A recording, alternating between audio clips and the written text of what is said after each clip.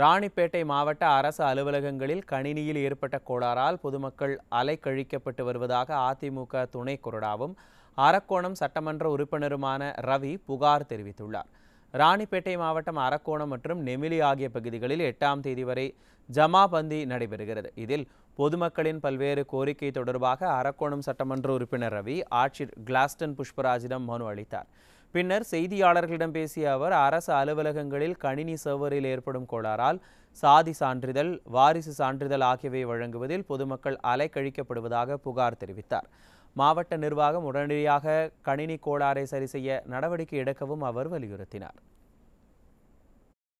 ஜாதி சான்றிதழ் வாரிசு சான்று இன்றைக்கு பட்டா மாற்றம் போன்ற பல்வேறு நடவடிக்கைகளை இன்றைக்கு சர்வர் வேலை செய்யவில்லை என்று இன்றைக்கு மக்கள் எல்லாம் இன்றைக்கு அலைகழித்துக் கொண்டிருக்கிறார்கள்.